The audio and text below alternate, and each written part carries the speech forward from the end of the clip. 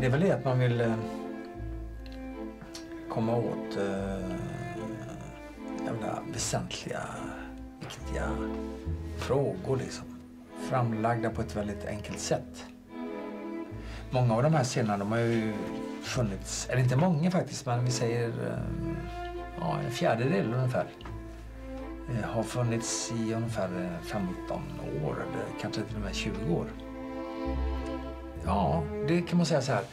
Jag har haft den här önskan om att hitta någon slags sammanfattning.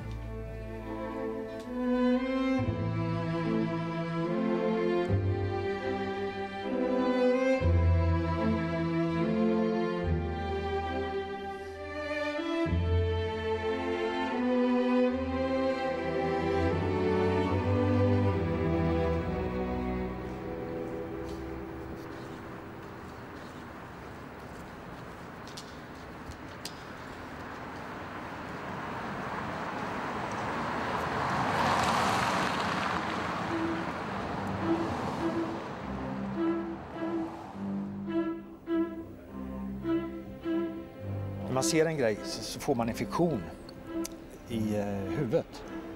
Och den fiktionen den kan vara resultat av att du ser någonting som är väldigt så här, stiliserat, renodlat som här. Eller du kan se en verklighet så får du en fiktion då också. Va? Och jag tror att det här vi gör nu det skapar en starkare fiktion hos åskådaren än om vi hade gjort det i verkligheten. Verkligheten känns ju ibland lite för bekant. Liksom. Det blir trygghet i det att känna igen sig i Göteborgs station eller Stockholms. Här får vi en, liksom en... Här är man ute på lite okända vatten. Här är väldigt...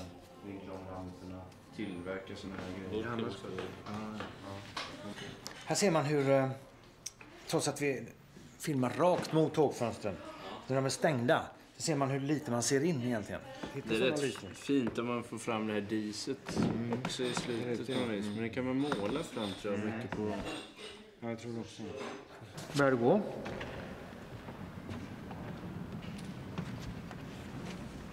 Ta tid, ta tid. Titta på dem då och då. Nu tänker du, nu får jag nog fan eh, gå in här bakom en stolpe. De ska vara symboler för människan. Mer än att de är in- individuella öden. Det är inte konstigare, det är inte alls märkvärdigt. Det är inte konstigare än en serietidning. En eh, kalanka eller... De har samma färg i ansiktet hela tiden allihop.